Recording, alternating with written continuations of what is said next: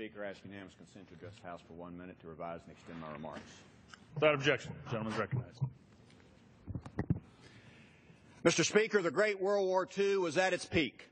So on September 11th, 1943, 28-year-old Sandy Thompson left her teaching job and volunteered for the Women's Air Force Service Pilots, better known as the WASP.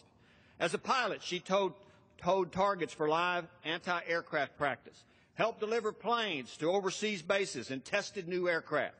Of the 1,000 women who were WASP, 38 were killed in their missions.